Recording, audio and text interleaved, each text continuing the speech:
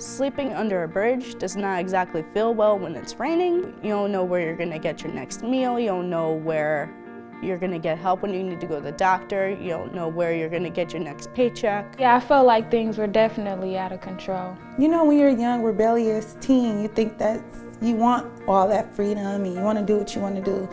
But as you get older and you see the real world, you see it is scary and it's not as easy as you think. I was um, homeless. I couldn't. I didn't know how to find a job.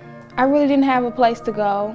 And I was, you know, bouncing between friends and hotels, and I even stayed in cars before. Like it was, it was pretty bad. And I needed a positive place that could help me, um, that could better me. And Lissy's Place was the place for me. They were there for me to get on my feet, to get a job. I just recently got a job.